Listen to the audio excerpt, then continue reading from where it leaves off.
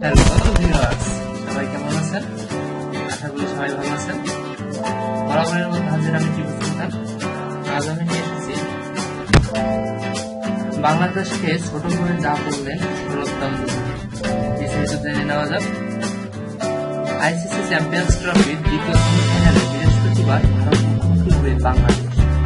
বাংলাদেশ সময় বিকেল সাড়ে তিনটায় ম্যাচটি শুরু হবে।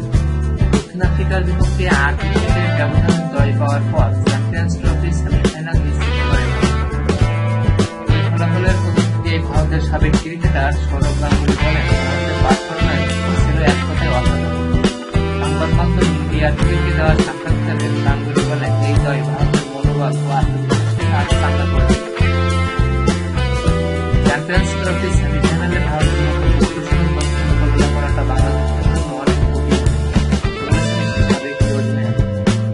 বাংলাদেশে যে ভারতের বিপক্ষে ভালো লড়াই করবে দক্ষিণ আফ্রিকা অবশ্যই ভালো চ্যাম্পিয়ন্স ট্রফি, তাদের পারফরম্যান্স খুব খারাপ। অন্যদিকে বাংলাদেশ, দক্ষিণ আফ্রিকার তুলনায় দুর্বল দল হলেও তারা দারুণ লড়াই করবে আমার মনে হয়। কারণ তাদের ব্যাটিং লাইন আপ ভালো, তারা স্পিন ভালো খেলতে পারে। এছাড়া তাদের বোলাররাও ভালো করছে কিন্তু ভারতের